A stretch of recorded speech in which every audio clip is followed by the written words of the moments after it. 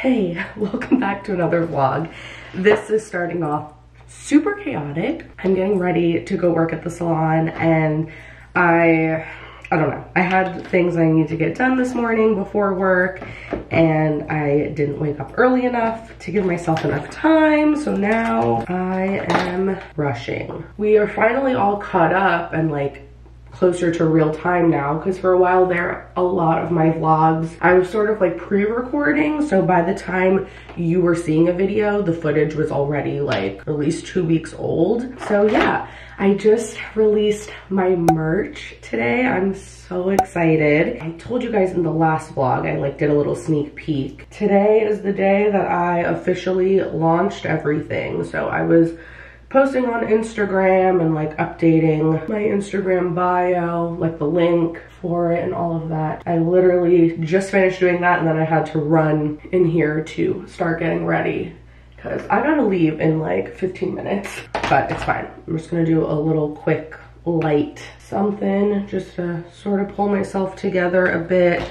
It should be a pretty chill day. I have three clients. They are all regulars. The first one is just a haircut. Second one is coming in to get her blonde refreshed. I'm doing a full foil, just bringing everything up higher. And then the last one just gets a permanent root touch up. Super easy and straightforward. So I'm looking forward to it hopefully just being like a quick, smooth day. So yeah, that is the plan. And I can't wait later today to check and see like what the response has been to the merch. So i'll have a link in the description if you guys if you're not following me on instagram and if you missed the initial launch. I am gonna get changed really quick and just brush this hair. I washed and styled it yesterday so i think i'm just gonna tuck it behind my ears and call it a day and throw on a quick t-shirt dress and some sandals and be good to go because it's also super, super hot today. So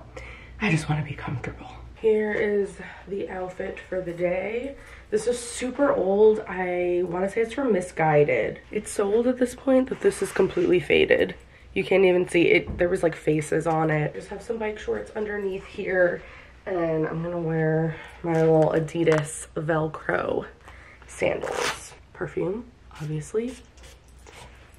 Ambery Saffron from Dossier, you already know. I just opened a new bottle last week. This is probably, I don't even know. I mean, at least my sixth bottle. This has been my go-to perfume for the last few years. I try other ones and I'm like, oh, this is nice and I'll wear it for like a week or so, but then I always just go back to this one. It's just like, it's become my signature scent. I feel like everyone just, they smell this and they, they know it's me coming. Dossier is sponsoring a portion of this vlog, so thank you so much to them for working with me for the last few years. I mean, they've been a huge supporter of my channel and just like a consistent sponsor. Dossier makes replicas of brand name designer fragrances for a fraction of the price by cutting out celebrity marketing, retailer markups, expensive, unnecessary packaging, all that kind of stuff. You just get these nice, simple, sleek bottles.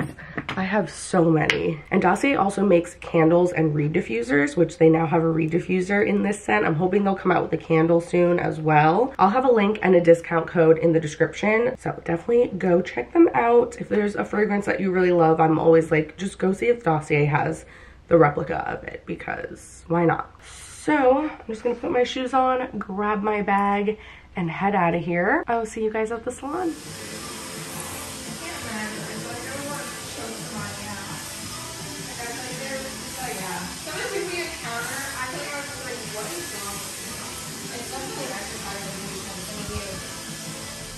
It has just been so hot and humid. I feel like every time I get out of work, this is what I end up looking like. Just a greasy, red, raccoon-eyed mess. Guess who barely got any footage of her clients? No after pictures, of course. And I'm the last one to leave again. But I mean, you know, that's what you get when you choose to not start early in the morning. I went in at one, so I can't complain. It's 7.45 right now actually, which is really good. not bad at all. But yeah, I mean, it was a good day. It was really smooth and easy, no issues. The only thing is my second client because she was due for like a really full heavy head of foils. And she has a lot of hair. And she also has very dark hair.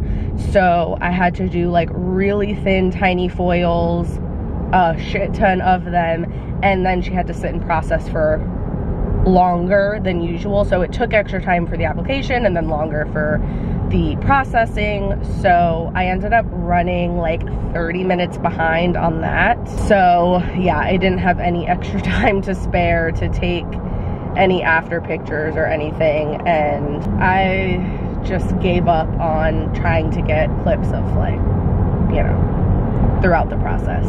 Sorry, I did not get to share that. It's been exciting though because everyone all of my regulars they usually pre-book their appointments so so everyone now has been booking out into like late july and august god willing at that point i will be in my new place so i've been booking everyone's appointments in my booking app for my suite so that's very exciting.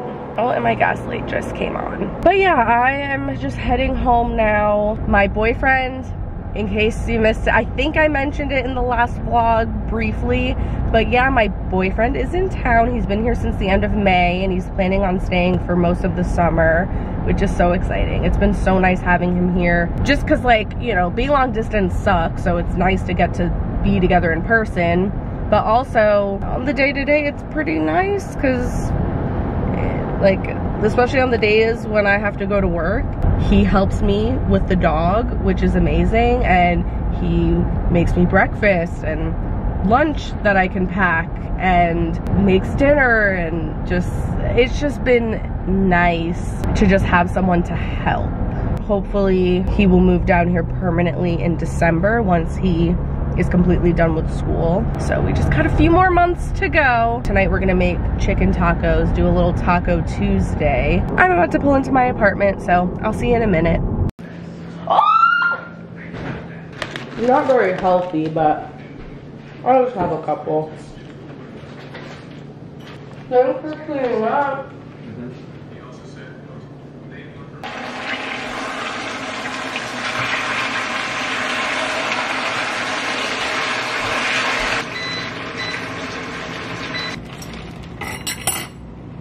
Do they still need time to cook though?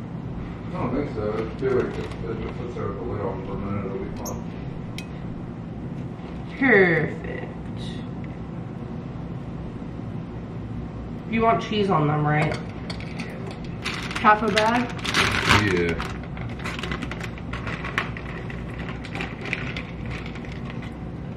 I'll take a tiny bit. Dinner is served. My plate, his plate. Oh, don't do that. These uh, OP appointments now are, I think until like more close to the end. They have to do another scan to get the pics they couldn't get because so legally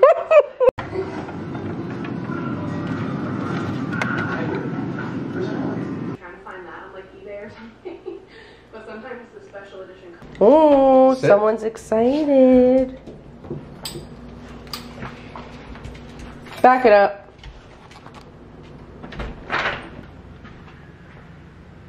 Okay.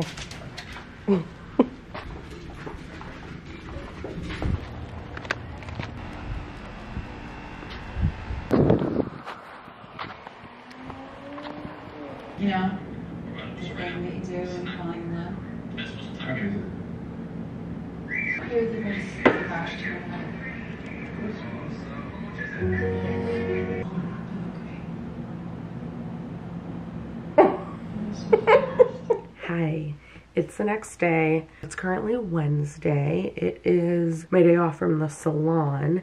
Right now, I'm kind of in like summer vacation mode. Summer hours, if you will. I haven't been working at the salon as much. Like it's just a little bit of like a slow season right now. And I'm in that weird in between where I'm moving into my suite soon, hopefully.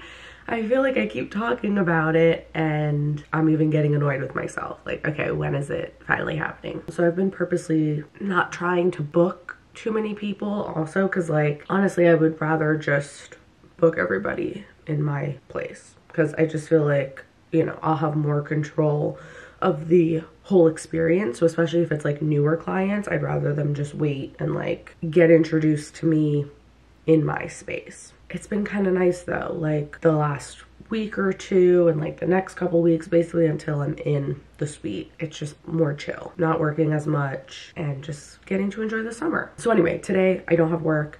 I did get a little bit of like computer, social media work done this morning, and now I changed into my bathing suit. We're gonna just go to the pool. And then we were talking about maybe going out to dinner later tonight. There's this Thai restaurant that we really, really love, but I will try to vlog throughout the day and I'll keep you updated. Oh, and I did my nails last night. I gave myself a gel manicure and I never do square nails, but it's just easier to do this shape on myself. I just wanted them to look fresh and clean. They were getting super grown out. And this color, hold on, let me go grab it. This is the color that I did. Kiara Sky is the brand and the color is Snow Bunny. Pretty similar to Funny Bunny by OPI. Just like a sheer milky white and I just did one coat of it so it would be super sheer. This is the gel machine that I have. I got it on Amazon a couple years ago. I'll see if this same one is still available. I'll link it down below. Okay, pool slash beach essentials. A hat. Always, always, always. Sunscreen, obviously, on my face. I just started using this e.l.f. Whoa Glow Sun Touchable. It adds like a little bit of a tint as well. And then obviously regular body sunscreen, especially on my chest and my hands. So I've been using this one and then a hair tie or clip or something to pull my hair back. If I'm planning on going in the water, I'll usually wet my hair and then put leave-in conditioner. I love mixing the Olaplex number six leave-in cream with the number seven oil because the oil has heat protection in it. Laying out in the sun is just as bad for your hair as like putting a flat iron on it. It's still heat damage. So especially if your hair is colored, you want to make sure that you're protecting it. So if I am planning on like swimming and taking the hat off, I'll make sure to do something with my hair, but it's still pretty clean. So I'm gonna try to avoid getting it wet. So I'm gonna just tie it back and then put my hat on. And then of course, sunglasses. This is how I be looking when I'm laying out by the pool or the beach.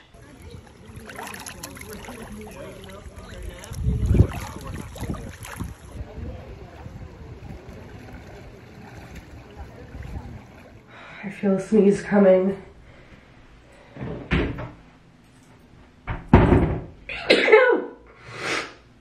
My allergies have been so bad today. It's a few hours later, got back, showered really quick, got dressed. I'm wearing that Amazon denim bodysuit that I showed you guys in the last vlog. It's just so comfy. It's that time of the month for me right now.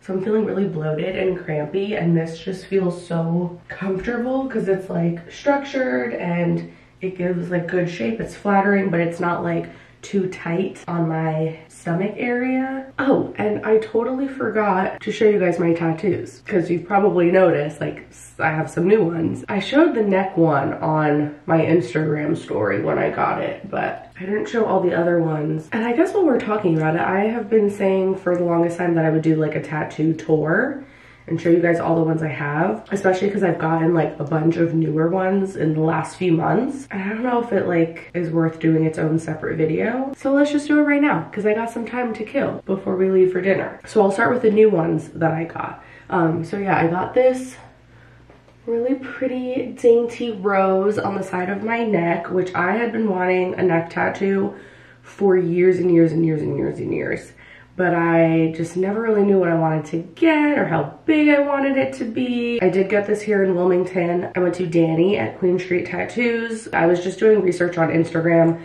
and I saw some other roses that she had did and I was like, yeah, I love her style. And then the same day that I got that, I also got this seashell. When I was researching, I saw this on Danny's Instagram page and I just thought it was so cute. And I was like, you know what? Let me get something to kind of commemorate living at the beach, living here in Wilmington, especially because moving down here was such a big pivotal moment in my life and I just feel like I needed something to represent my time living in Wilmington. I love the seashell and I love how she just did like the very soft light shading. Then on my inner arm, all on the same day, I got Blue Jean Baby from the Elton John song Tiny Dancer, huge Elton John fan. I saw him live actually sort of spontaneously back when I was in high school in Venice, Italy. And it was one of the coolest moments because I was like really, really into him in high school.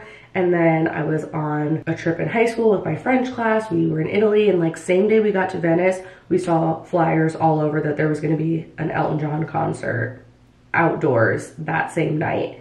And we didn't have tickets, but we were able to stand outside. I climbed up on a lamp pole and sat up there and I was able to see him because they had like these walls up to kind of block for people who didn't have tickets to get in. But I climbed my way up and I watched Elton John live and it was just one of the coolest moments ever. Like hands down, like when I think back to like just all of the memories of my life, that stands out as one of the peak, like coolest core memories. So I had to get something to represent that. And then I also that same day got this 718, which is the area code or was our area code when I lived in the Bronx. I was born and raised there up until I was 10. And I just feel like I will always be a New Yorker at heart. Those are all the new tattoos I got to continue moving backwards in the timeline when I was in Italy back in October. I got this tattoo,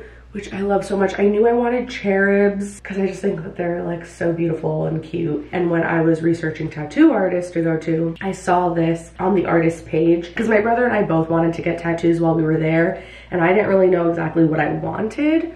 So yeah, as soon as I saw this, I was like, that's it. That is, that's the one. So for me, it has multiple meanings. So it's like a baby devil with a baby cherub and they're hugging and the little angel is giving the devil a kiss on the cheek, which is so cute. So to me, it's like, it's like a yin and yang thing. Like, you know, we all have a little good and a little bad. And it also kind of represents like I'm a Gemini, so you know it's a sign of the twins. And I also just love how it looks so much. And I love the way, again, with just like the very light shading between this one and the rose, they're like tied for my favorite tattoos. And then I also got this when I was in Italy. It says Amor Fati, which means lover of fate. Just basically like has always been my life motto. Like I just always tell myself whenever I get like overwhelmed or I'm stressed, overthinking, I just tell myself whatever's meant to happen will happen. Like it will all work out everything will be fine. It, it is what it is. And I truly believe in like destiny and fate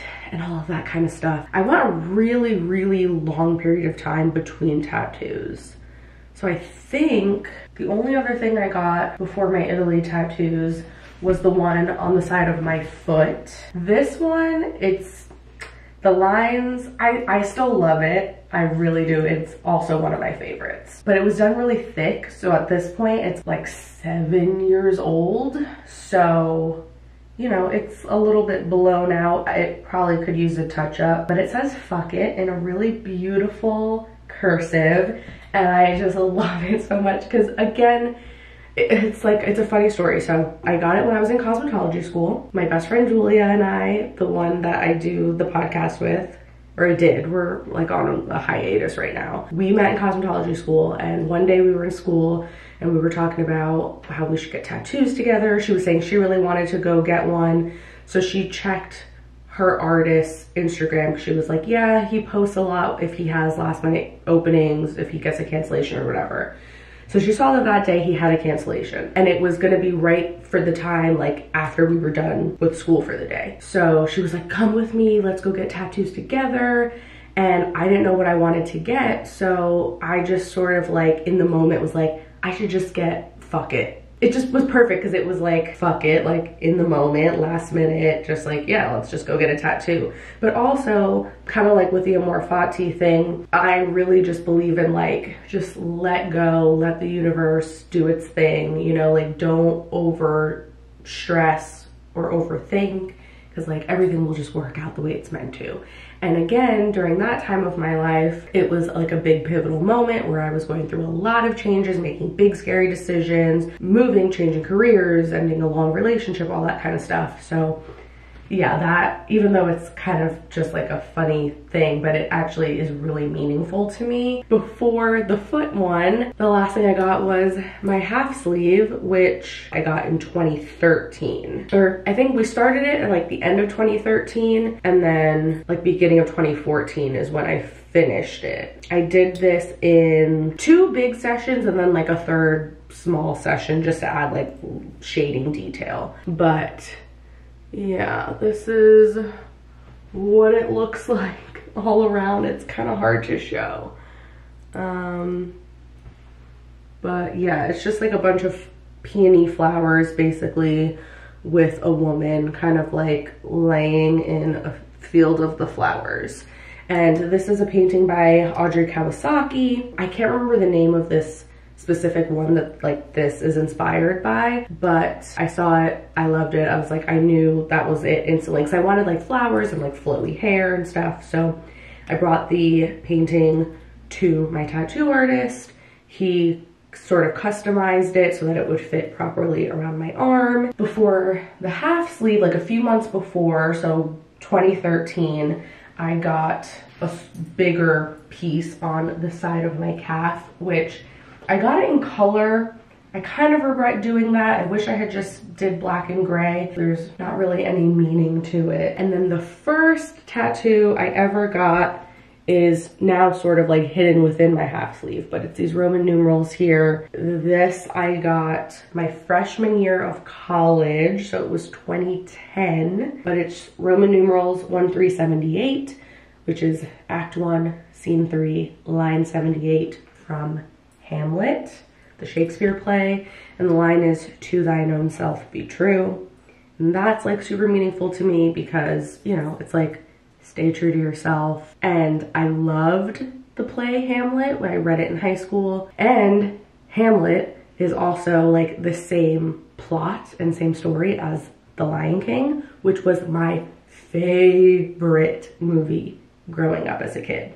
So it just all kind of like came full circle and is really meaningful and I wanted to get it rather than just like writing. Because again, even like with the Blue Jean Baby thing, like I don't necessarily want my tattoos to be super obvious. I don't want people to see it and know immediately like what it is. I want it to like just kind of be a little more private to me. So I wanted to cite it that way instead. I think those are all of my tattoos. Hopefully I'm not forgetting anything. And I'd love to get more. I remember I used to think when people would be like, yeah, I got this as a tattoo. So every time I look at it, I remember to like love myself. Like I used to think that was so corny. Like you need, you need a physical reminder. But I will say it's really cool, especially now that I have some that are over 10 years old it's cool to be able to look back at them and just remember when I got it and like where I was in life and what was going on at the time and what inspired me to get it in the first place. That's really, really cool. It's really special. So, and I especially like the ones I got with my brother in Italy, like I, I mean, they're so special to me. Anyway, we're gonna head to dinner now. Let me put a tiny bit of under eye concealer. Ah! What is wrong with you? Blush and a little brow gel. Cheers. Oh, yes. Gorgeous. It's way pretty.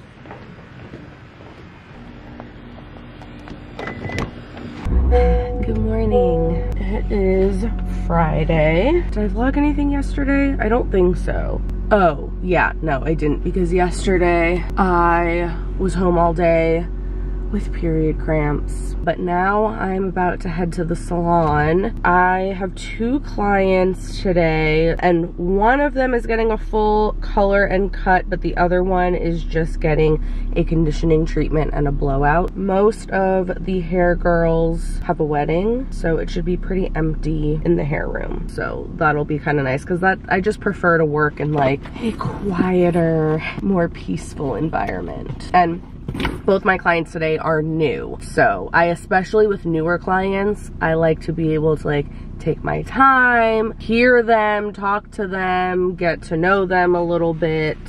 Um, especially obviously during the consultation part. It's tricky when I have a new client on a day when it's super packed in the hair room because it's just so loud and I can't really hear and it's overstimulating and it's just it's just a lot going on. I'm gonna go now, so I'll see you at the salon.